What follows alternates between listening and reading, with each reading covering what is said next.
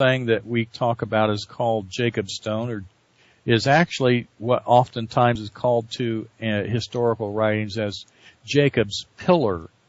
And that uh, he had this dream about something going and coming, which I actually want to let you know has to do with an opening of a portal and the Nephilim coming down. Um, Prince William, I'll read that in a minute. Yeah, thanks for that. The note, I'll read here in just a second. Um, there's a book that I want you to get called Jacob's Pillar, Stone of Destiny. It's written by E. Raymond Capt, C-A-P-T. Now, what this is about is E. Raymond Capt was a professor of archaeology and um, his book can be found at Artisan Publishers. ArtisanPublishers.com and you just type in, their little search engine Jacob's Pillar and you'll get this book. This book outlines the history documenting archaeologically the Anglo-Saxons' identity being hidden from them, their genetic reasons for who they are, and the battles that they've had. Now, we we often see that you know we have a lot of stories about things, and we're going to go into the reason uh, that we have another book here we're going to go over that's very related to all this by a fellow by the name of Andy Lloyd, and I'm not familiar with him, but I am his book. So we're going to uh, chat here in just a second about that. But we're talking about there's this um, story about the stone of destiny. Now, the stone of destiny has had another turnover since it went in 1996. This book, however, was um, republished in 2005, but I don't know that any changes were made. But it does mention that there's supposed to be three turnovers. But the royal lines of of the lineage of the kings is in here, uh, via the kings of Ireland, the kings of Scotland, and so forth.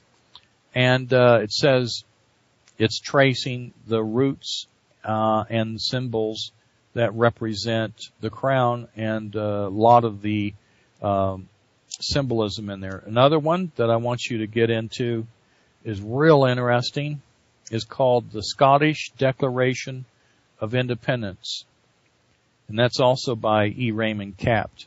It's a uh, available from the same place. It's called the Scottish Declaration of Independence. The reason why this is important is that uh, Scotland's most precious possession, basically, is what is called a letter from Robert the Bruce, you know who that is, to the Pope John, the 22nd, Pope John the 22nd. In other words, he just threw it in the face of the Pope and said, leave us alone. We are free people. So get you and your little Nephilim little religious bandits out of our lives. And so they uh, wrote this thing called the Declaration of Arbroath, called, and it's often known as the Scottish Declaration of Independence. Basically, it's it's still you know uh, there in the House of Edinburgh, but it's a parchment or not parchment. I think it's a skin where there are beads that are uh, clamped onto tethers or little um, leather strips of leather hanging off the bottom of this, uh, where each one of the the the uh, groups agreed to the declaration. And so, what it is. It's Bruce's letter that preserves, it says here, an intriguing uh, document of the origin of the Scots and provides a link of one of history's most fascinating problems. What was the fate of the so-called lost tribes of Israel? And this very document helps answer that question.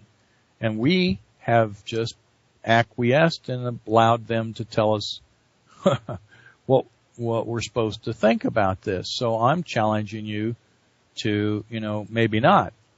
from the Declaration of Arbroath or the Scottish Declaration, we get many, many of our things here in the United States and many of the documents of freedom for the Western society. And so when we can see that that could have been compromised because we had these creatures coming to take us over and enslave us, yet we had to continue to understand that we're really free people. We over and over have battled them and over and over have lost and there's been other civilizations completely wiped out by them and this is a revolving door and we need to not re- forget this. It says here from the declaration we discover Robert the Bruce and his knights whose seals are affixed to the document date their beginning as a nation 1,200 years after going out of Egypt, Exodus, excuse me, from the people. Thus they claim to be descent from the Israelites of Egypt.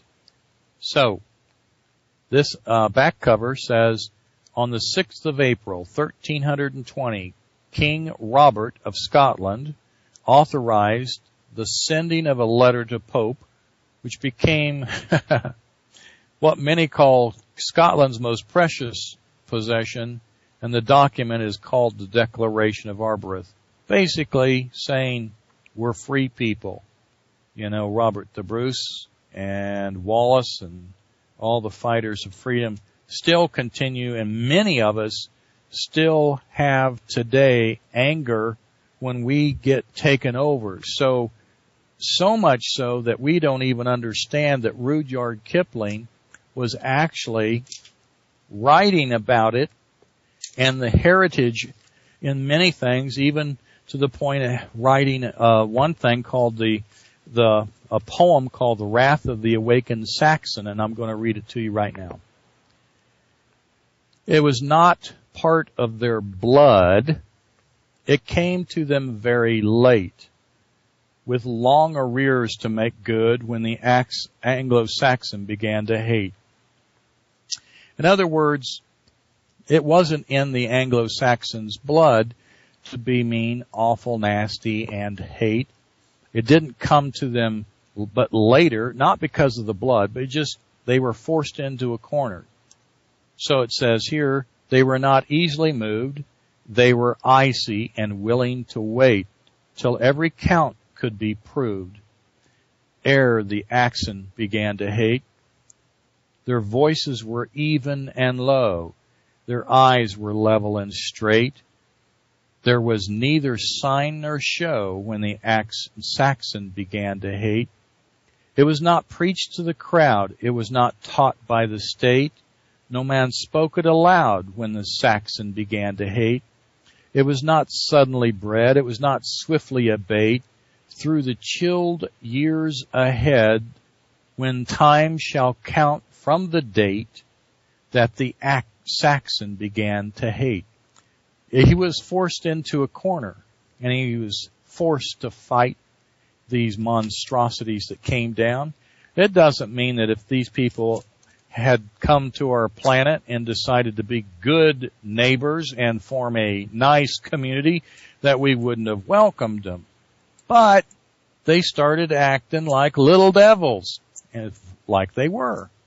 And so they weren't able to cooperate. And today, yes, their children are still among us, behaving poorly, our system of government has been infiltrated and our ability to try and protect ourselves is gone.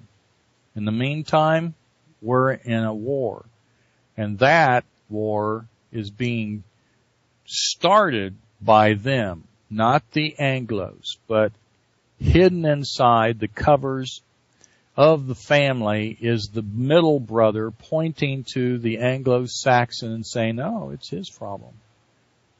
I want us to remember this is a real battle. This is a real war, but it's not because those before they came back hated each other. They started. They make us fight each other. So, the question